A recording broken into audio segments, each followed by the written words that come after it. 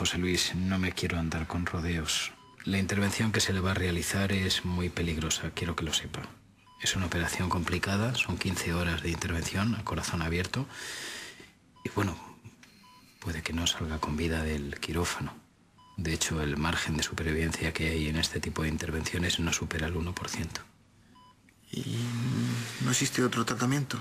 Bueno, se le podría realizar una operación en vez de, de 15 horas, de una hora, pero el margen de supervivencia no sería del 1%, sería del 10%.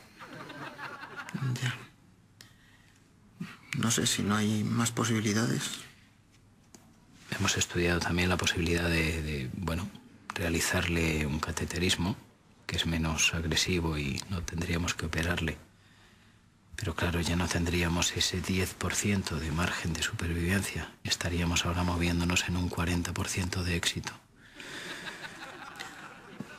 No sé si usted no ve más opciones, doctor. Hemos estudiado incluso el recetarle unas inyecciones de aplicación cutánea en el muslo, pero el margen de supervivencia es del 70%. ¿Y no hay otra salida? Me temo que no, José Luis.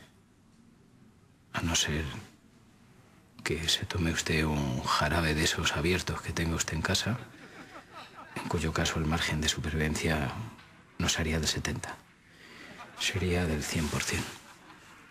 100%.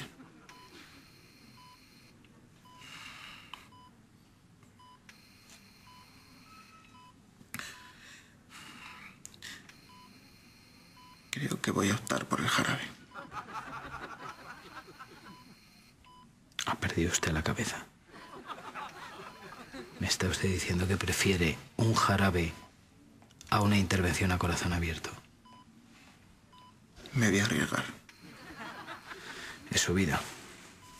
Es su vida. Los pacientes ya no saben lo que quieren.